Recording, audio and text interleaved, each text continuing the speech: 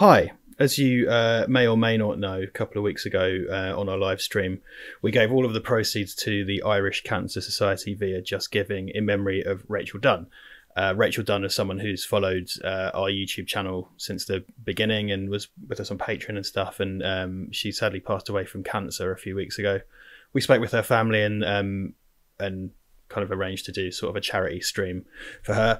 And uh, you lot got us up to three hundred seventy one pounds, which was amazing. Um, so tomorrow, the twentieth of September, that is this month, um, I'm cycling from London to Brighton with my friends uh, Dan, Ryan, and Will. Um, which is something we arranged a while back, and it looks like it's going to happen. We've got 21 degrees temperature and a, and a light northerly breeze, so it's kind of optimal cycling uh, conditions.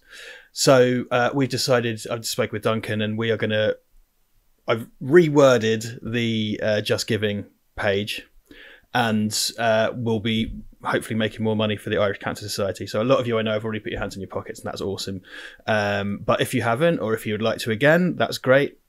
Justgiving.com forward slash Val Verde Broadcasting. The link in the description below as well, and uh, we'll see if we can get that that total continuing in uh, memory of Rachel, and uh, I'll post some updates and stuff on the day. Uh, it's something I have done before. I need to point out. I'm not just sort of going like, "Oh, fuck it." I, I do cycle a fair bit, and I've done the London to Brighton a few times.